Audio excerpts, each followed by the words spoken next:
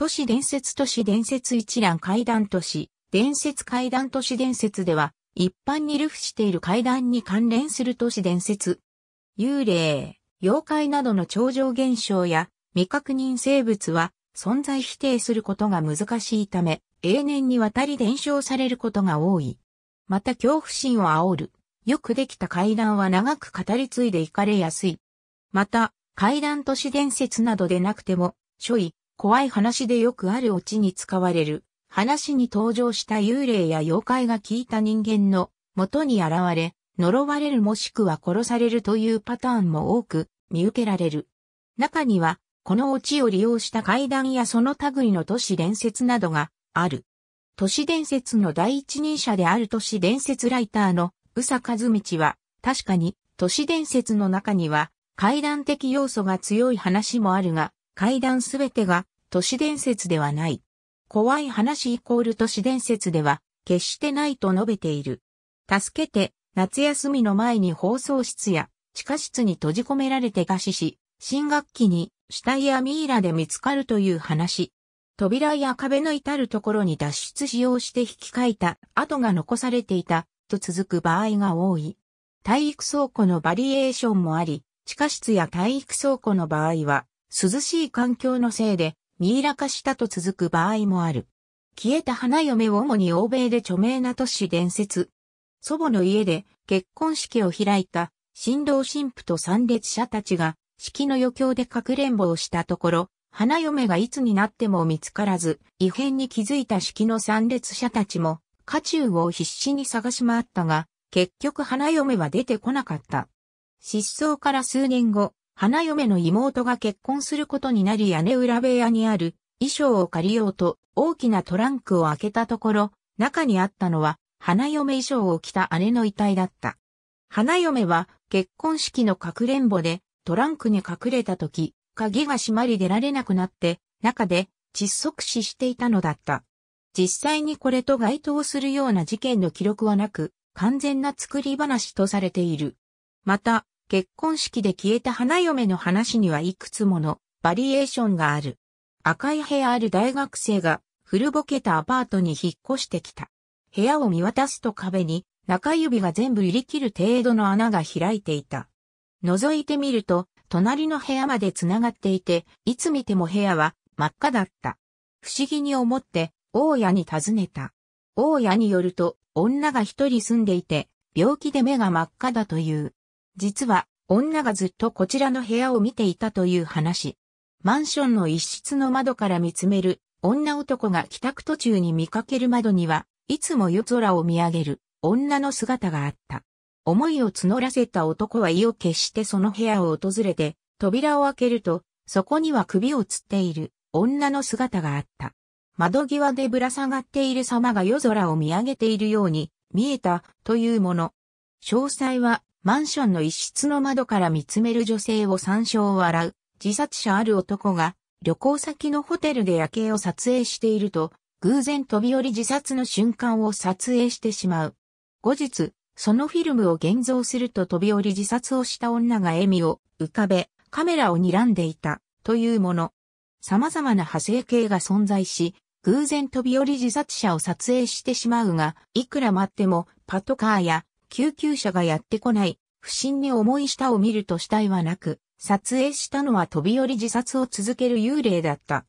突然電話がかかってきて、窓の外を見るように言われ、不審に思いつつも窓の外を見ると、飛び降りた女が笑いながら落ちていった。あるいは、ただ、単に偶然窓の外を見ていたら、飛び降り自殺者と目が合ってしまった。というだけのものもある。赤いクレヨン中古の一軒家を購入し、改装しようと壁紙を剥がすと、釘付けされた扉を見つける。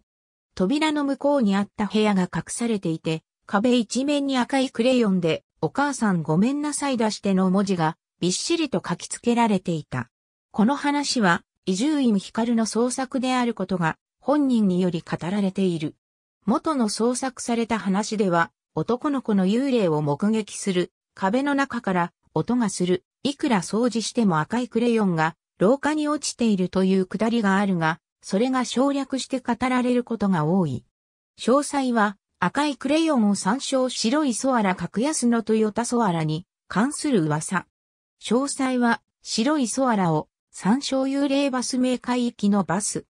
消えた乗客女がタクシーに乗り込んだ。彼女は運転手が話しかけてもなぜか一切喋らない。しばらく走った後、運転手がふとバックミラーに目をやると彼女の姿はなくシートがびしょびしょに濡れていたというもの。アメリカにも以下の著名な類話がある。消えるヒッチハイカーヒッチハイカーを乗車させるが、行き先としていた家に到着した時には消えていた。驚いた運転手が事情を説明すると家人は言った。それは死んだ娘だという。この話は、行方不明になった花嫁が幽霊になって馬に乗せてもらい家族の元に帰る、インディアンの花嫁という伝説が元になっているとされる。また、日本でも古来より馬に乗せた人物が消えるといった伝承が、稲川淳二の稲川淳二の怖いお話ボリュームに、殺意の病棟に類話が収録されている。詳細は、消えるヒッチハイカーを、三勝無の結末近所のコンビニで暴漢に襲われる、夢を見て、気にしつつもその店に行く。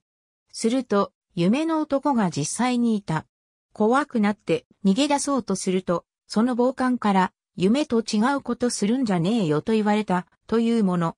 暴漢に追われ、逃げ切る直前に殺されてしまう夢を繰り返し見ていたため、一足早く逃げることで無事自宅にたどり着いた結果、ドア越しに暴漢が悔しげに前日のセリフを言う、母親に車で迎えに来てもらうなどの様々な派生も存在する。結城モイラの私の心霊体験に読者投稿の類話が掲載され、編者はこの体験を夢ではなく幽体離脱し、異次元をさまよっていたためで、その男は異次元世界に引きずり込もうとしている悪霊であるといった解説をしている。スクエア雪山で遭難した5人の学生たちの話。山小屋の4人とも。これは、移住院光のラジオ番組で投稿された話を紹介したことが広く知られる元となったもので、その時に共演していた稲川淳二が後にこの時の階段をもとに創作した話がある。詳細は、スクエアを参照、見えてるくせに、霊感の強い人物が、横断歩道の向かい側にいた女から尋常ではない、気配を感じ取ったが、恐ろしかったので、気づかないふりをしていた。信号が青に変わり、すれ違いざまに女は、見えてるくせにと言った。相手が軍服を着ているパターンもある。死ねばよかったのに、ドライブ中、トンネルを抜けるといきなり女が飛び出してくる。急ブレーキをかけ慌てて車を降りるが、誰もいなかった。ふと車の先に目をやるとそこは崖で、急ブレーキをかけていなければ、崖に落ちて死んでいたであろう。男は女お礼だと確信し、感謝しつつ車をバックさせようとした際、耳元で、女は、死ねばよかったのに、と呟いた。死ねばよかったのに、にカーナビが、5km 以上道なりですと言った。火が落ち、山道に入ってもカーナビは 5km 以上道なりですと言った。やがて前が見えないくらいの大雨となるが、それでもカーナビはやはり 5km 以上道なりです。突然の雷鳴に驚き、ブレーキを踏んだ。運転手が嫌な気を感じて下車したところ、目前は断崖絶壁であった。カーナビは死ねばよかったのに、と言った。あと少しだったのに、というパターンもある。死ねばよかったのに、三彼女とドライブに出かけたが、火が落ちて道に迷ってしまう。彼女がそこを右に曲がってというので、曲がったところ、目の前は崖。危ないじゃないかと言おうと目をやると彼女は寝ている。彼女は男のような低い声で死ねばよかったのに、と言った。中にはカーナビに案内されるままに進んでいくと、崖の手前や大きな事故が起こった場所に行き着き、運転している人物が車に戻ってカーナビを操作しようとした時に、私はここで事故で死にましたと話し出す派生版も見られる。白い手水難事故で子供を亡くした親が、せめてもの思い出にと、その時の写真を現像に出したところ、死んだ子供に対して海から無数の白い手が伸びていたという話。親子に代わって悪友連中に男が海に突き落とされたパターンや、海への投身自殺の着水の瞬間に、無数の手が現れたパターンも存在する。稲川淳二の怖いから聞かないで、や、新字袋にも同様のエピソードが紹介されている。天正醜く生まれた子供をフェリーから突き落とした過去を持つ夫婦に数年後に再び子供が生まれる。その子供はとても可愛かった。数年後、家族旅行でフェリーに乗った際、子供が今度は落とさないでねと言った。お前だよ。身ごもり出産した女が生まれたばかりの赤ん坊を駅のコインロッカーに捨てる。数年後、彼女が迷子とおぼしき子供に、ママはどこなの？と聞くと、お前だよ。と叫んだ。お父さん、なんで？夫婦喧嘩の挙句、妻を殺害してしまった夫は、妻の遺体を庭に埋め、子供には、お母さんはおばあちゃんへ出かけて、しばらく帰ってこないと嘘をつき、子供も納得する。しかし、それから一週間、一ヶ月経っても子供は、母の不在を怪しまない。不安に思った父が子供に、何かお父さんに聞きたいことはないか？と尋ねると、子供はこう答えた。お父さん、なんで、いつもお母さんをおんぶしてるの友達だよな？数人の学生がドライブに出かけた。人気のない山道に差し掛かった頃から、徐々にドライバーが危険な運転を行うようになる。友人たちは口々に抗議するが、なぜかドライバーは真っ青な顔で何も答えない。しばらくすると、ドライバーが震えるような声で、俺たち友達だよな？何があっても見捨てたりしないよな？と聞いてきた。友人たちが当たり前だろ、どうかしたのか？と返答すると、ドライバーは自分の足元を指さす。友人たちが覗き込むと、車の床から突き出した青白い手首がドライバーの両足を握りしめている。驚いた友人たちは悲鳴を上げて、車から逃げ出したが、気になって戻ってみると車もドライバーも消えていた。当初は見捨てたことを怒って一人で帰ったと考えていたが、それ以来ドライバーは行方不明になってしまったというもの。テレビ朝日系、階段レストランでも類似の話がある。杉沢村伝説一人の男により、村民全員が殺害され、廃村になった村があったというもの。津山事件の他複数の事件が混同されていき、架空の事件が作り上げられたものが噂のもととも言われる。詳細は杉沢村伝説を参照犬鳴村伝説級、犬鳴トンネルの近くに、この先日本国憲法は通じませんという看板があり、その先の集落に立ち入った者は生きて帰れないというもの。犬鳴村伝説を題材。詳細は、犬鳴峠を参照八甲田山の亡霊八甲田、雪中行軍遭難事件により多数の死者が出た八甲田山に犠牲となった兵士が亡霊となって出るというもの。木更木駅静岡県浜松市の。遠州鉄道沿線などであったとされるに、チャンネル発祥の。都市伝説、及びその。話に登場する駅名。2004年1月8日23時過ぎに、大型電子掲示板2チャンネルのオカルト超常現象版に投稿された存在しないはずの無人駅に降りた女に起こった怪奇現象が話題となった。詳細は木更木駅を参照赤いマント小学校の古いトイレで生徒が用を足そうとすると赤いマントを着せましょうかと聞いてくる。はいと答えると悲惨な結末に。これは稲川淳二のラジオ番組に寄せられた投稿。赤い斑点が元になって派生した話である。詳細は赤い髪、青い髪派生形を参照異様な猫舎の下にいた猫を抱き上げると、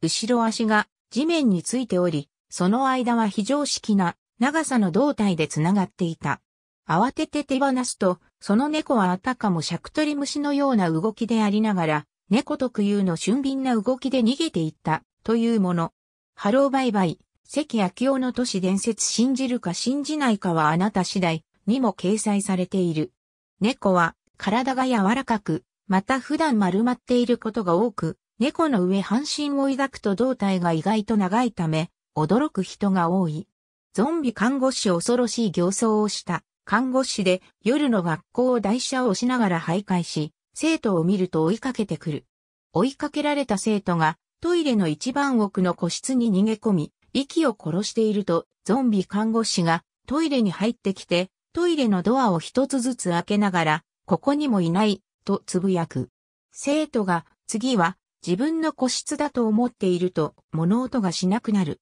夜が明け、安堵した生徒が、トイレの個室から出ようとするが扉が開かない。不審に思った生徒が、ふと上を見ると、ゾンビ看護師がドアを押さえて、上から覗いていた。生徒は、ゾンビ看護師に一晩中、ドアの上から個室を覗かれていたのだ。それからゾンビ看護師はその生徒を乗せた車椅子を押して現れるようになるという話もある。なぜ学校に看護師の幽霊がいるのかは説明されない場合と、もともと学校のあった場所は病院だったとされる場合がある。トイレの個室に隠れたつもりだったが、ずっと上から覗かれていたというシチュエーションは、様々な階段で使われる。三本足のリカちゃんトイレに、リカちゃん人形が落ちている。不審に思い出にとってみると、足が三本ある。驚いて地面に落とすと、私リカちゃん。呪われてるの、と話す。怖くなってその場から逃げ出すが、リカちゃんの声が耳から離れない。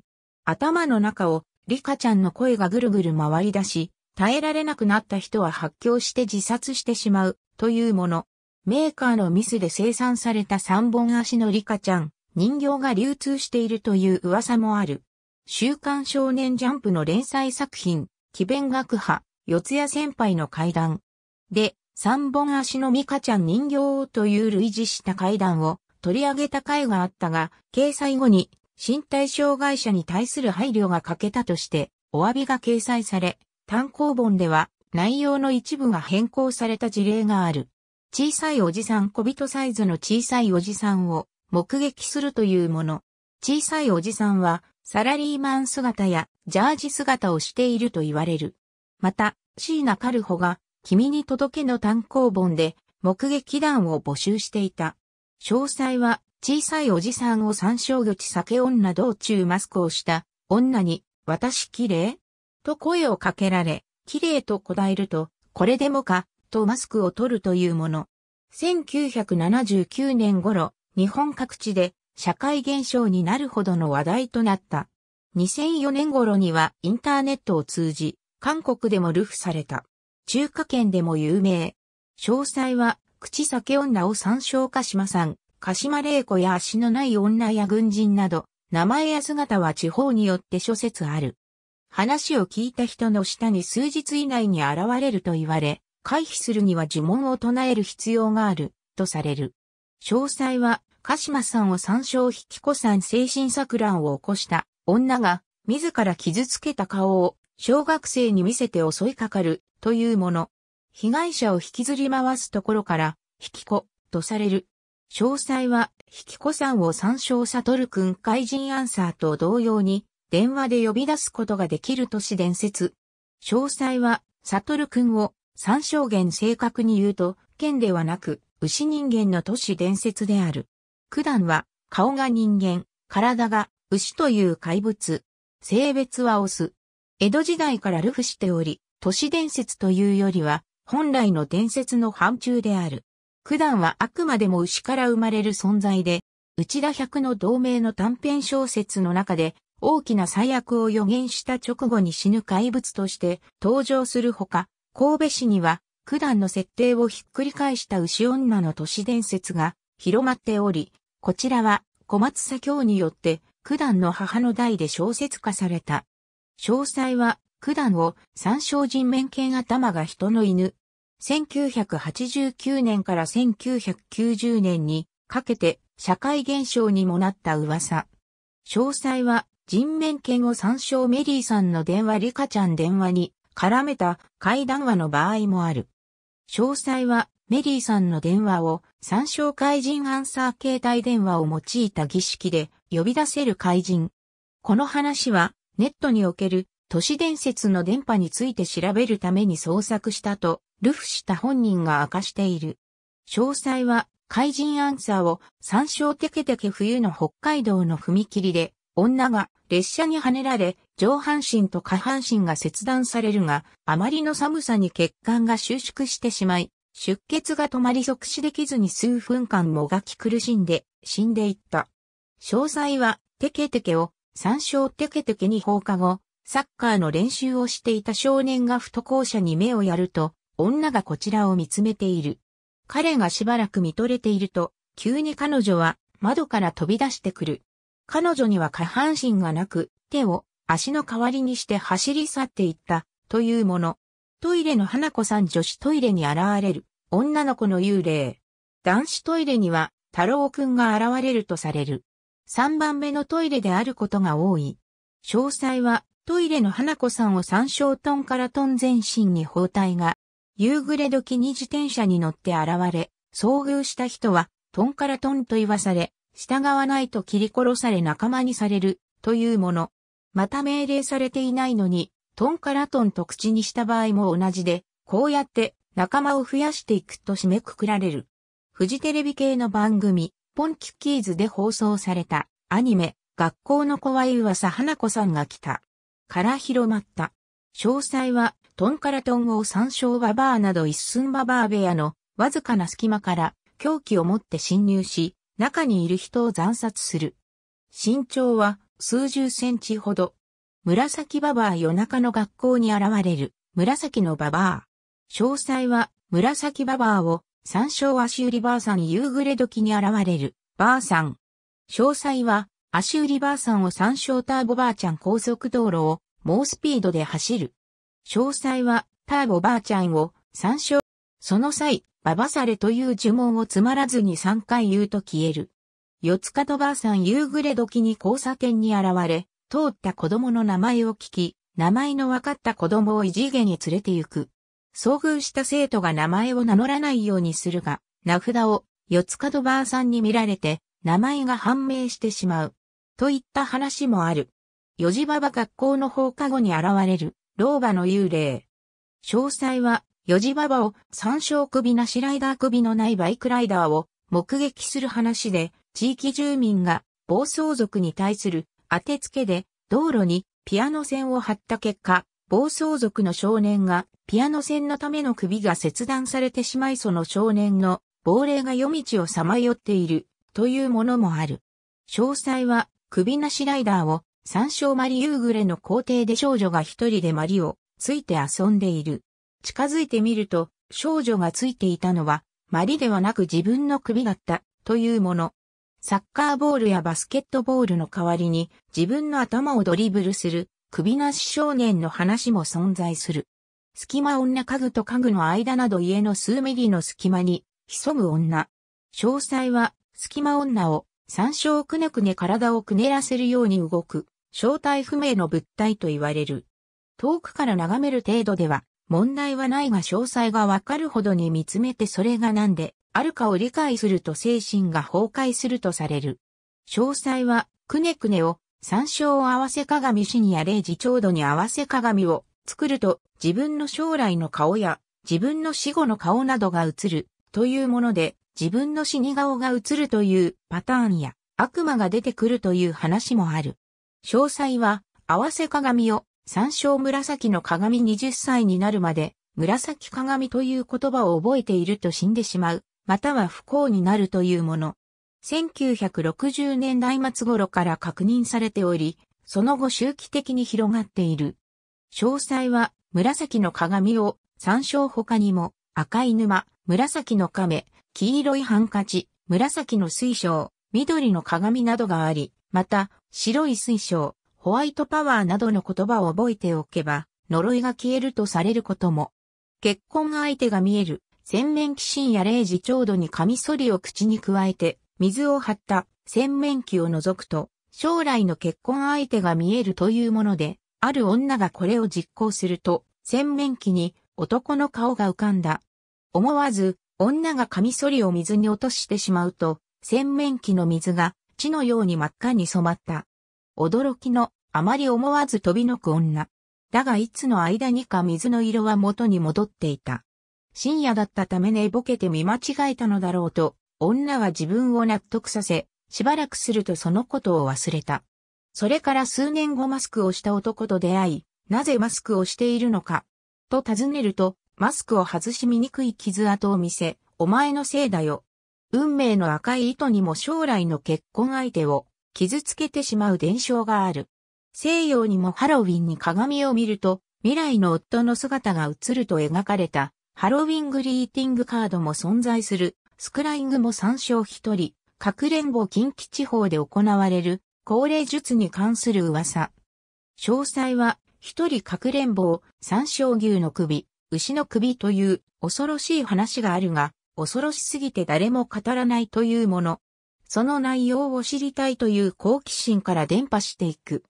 詳細は、牛の首を、三章落語、死忍者や情報落語の演目でかつては、死忍者屋が演じられた記録があるが、2013年現在では、伝承が途絶え題名のみしか残っていない。落語版の牛の首。その理由が、死忍者屋をやると怪現象が起こる。あまりにも怖いので誰もやりたがらず、話が永久に失われてしまったと、まことしやかに言われている。死忍者屋は実在した話で、何らかの理由で失われてしまったというのは事実であるが、他にも失われた落語の演目は数多く存在し、死忍者屋に特別な事情があったわけではない。ありがとうございます。